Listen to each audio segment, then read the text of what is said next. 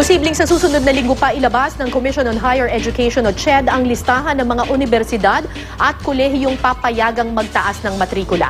Pero ang Kabataan Party List nagbanta ng magsampa ng kaso laban sa CHED. May news to go si Sherry Antores. Taon-taon problema ng maraming private school sa Pilipinas ang bumabagsak na bilang ng kanilang mga enrollee. Marami kasi sa mga estudyante sa mga public school lumilipat kung saan mas mura ang matrikula.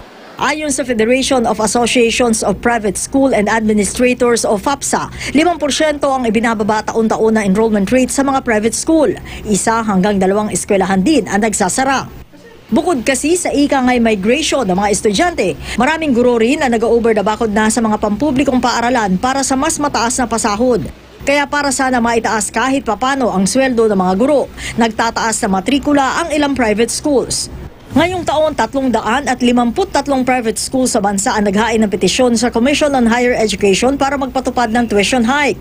Ilan linggo bago ang pasukan. Hindi pa inilalabas ang listahan ng mga universidad at koleyong papayagang mag-tuition hike. Naging abala raw kasi ang kagawaran para sa kanilang ikadalawampung anibersaryong ayon sa CHED, posibleng sa susunod na linggo pa nila ito mailalabas. We are consolidating it para when we release it, uh, it's a complete uh, picture. It will depend on uh, how they justified their position. Pinaka-major dyan is the uh, adjustment sa salary levels ng uh, and benefits ng mga faculty and uh, non-academic personnel. Pagtitiyak naman ng CHED, 3 to 4% lang ang inaprubahan nilang tuition increase para hindi masyadong mabigat sa bulsa.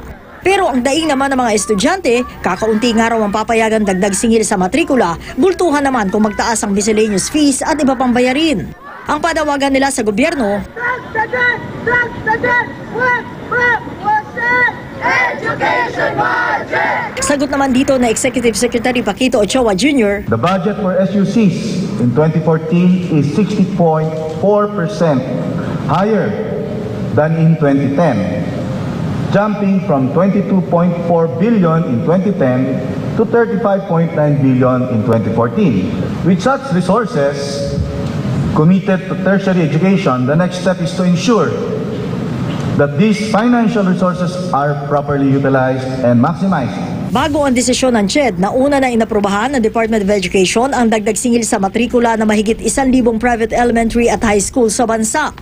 Hindi pa man nailalabas ng CHED ang kanilang listahan, ang Kabataan Party List nagbanta ng magsasampa sila ng kaso laban sa kagawaran dahil wala raw sila nagawa para pigilan ang taas matrikula. Hindi rin daw natugunan ng CHED ang mga reklamo ng mga estudyante kaugnay ng hindi pagkonsulta sa kanila tungkol sa tuition hike ng kanilang mga eskwelahan. Ang Alyansang Rise for Education naman, naglunsad ng hotline para sa mga reklamo kaugnay ng issue sa matrikula. Iipunin daw nila ang mga ito para maging basehan ng mga reklamong ihahain din nila laban sa CHED. Para maproteksyonan naman ang interes ng mga magulang at estudyante, naghain ng Akbayan Party List ng panukalang nagsusulong ng karapatan ng mga estudyante at magulang. Kabilang narito ang karapatan nilang mapakinggan kaugnay ng issue sa matrikula at iba pang bayarin sa eskwelahan. Sherian Torres, GMA News.